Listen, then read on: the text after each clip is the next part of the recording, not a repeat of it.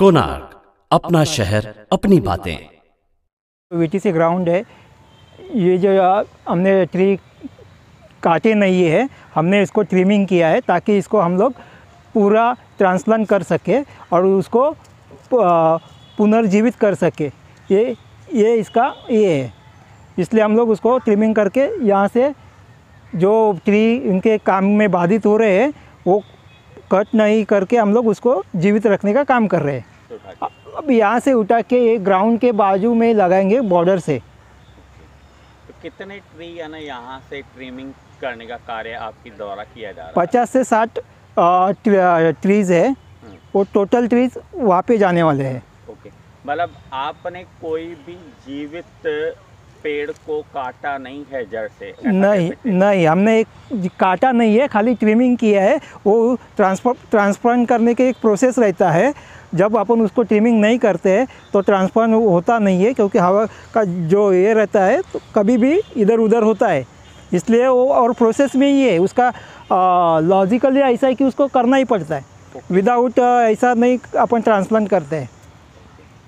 Ulhasnagar corporation की तरफ़ से हम लोग माननीय बाला साहेब ठाकरे क्रीड़ा संकुल का निर्माण करने जा रहे हैं, जिसके अंदर 60 परसेंट जो प्लेस है, वो स्पोर्ट्स स्पोर्ट्स ग्राउंड के लिए इस्तेमाल होगा, बच्चों के खेलने के लिए इस्तेमाल किया जाएगा, और जो रेस्ट 40 परसेंट जो प्लेस है, वो हम लोग जो है कॉम्प्लेक्स बनाने के लिए यूज़ करने वाले कि हम लोग यहाँ पर कोई भी पेड़ को काटने का कोई भी प्रयास नहीं कर रहे हैं। हम जो ये कॉम्प्लेक्स रेडी कर रहे हैं इसे बनाने के दरमियान हमारे लिए कुछ जो पेड़ है, इसके बीच में आ रहे हैं। तो उसके लिए भी हमने थ्रू द गवर्नमेंट परमिशन निकाली कि हमें इसका सॉल्यूशंस बताइए। तो उस पर ऐसा रिज़ल्ट आया है कि हमें ये सारे प्लांट्स जो है, जो आप यहाँ देख सकते हैं, ये रेड कलर में आपको शो कर रहे होंगे, ये सारे के सारे प्लांट जो है हमारे कॉम्प्लेक्स के बीच में आ रहे हैं। तो हम इन पेड़ों को, ये रेड वाले जो पेड़ दिख रहे हैं आपको, इनको यहाँ से उठा करके, ये पिंक कलर के जो कॉर्नर्स में जितनी भी बाउंड्री लाइंस पे यहाँ पर हम इन्हें प्लेस करेंगे। जबकि ये पेड़ अराउंड 50 के करीब ये प्लांट है ट्रीज़ है जो बीच में आ रही है। यहाँ पर ये पूरी बाउंड्रीज़ को हम ट्रीज से कवर करेंगे। और जैसे कि अभी कहा जा रहा है, हमने भी काफ़ी सुना है कि हमने पेड़ों की कटिंग की है, उनको बहुत बुरी तरह से काट दिया है, सारी चीज़ें।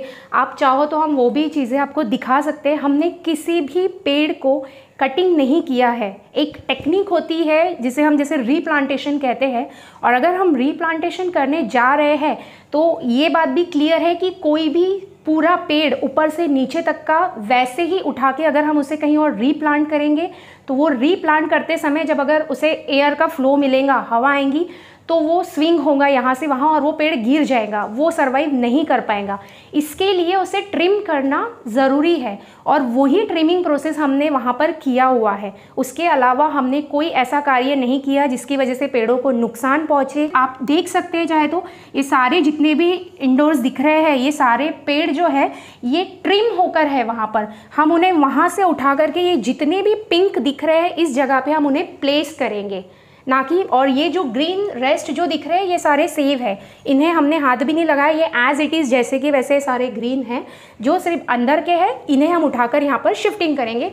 इसी के लिए हमने ट्रिमिंग किया हुआ है। माननीय बाला साहेब ठाकरे क्रीड़ा संकुल में क्या क्या सुविधाएँ लोगों के लिए रहेंगी?